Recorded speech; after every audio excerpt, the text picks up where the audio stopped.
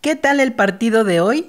Sin duda sufriremos, pero seguimos fieles a nuestra selección y veremos el partido México-Arabia Saudita deseando que sea un marcador favorable a nuestro equipo. Y para gozarlo y sufrirlo, nada como otra rica botana, que en esta ocasión será ensalada de habas verdes con zanahoria.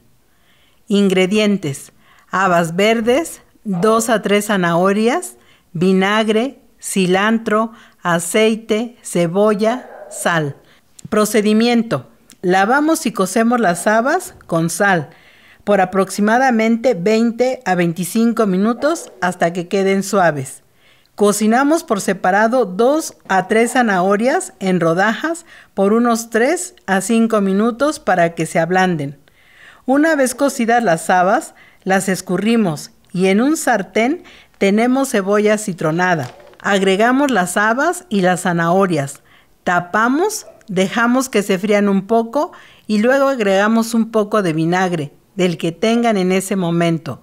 Rectificamos la sal y tapamos por 10 minutos para que se consuma el líquido.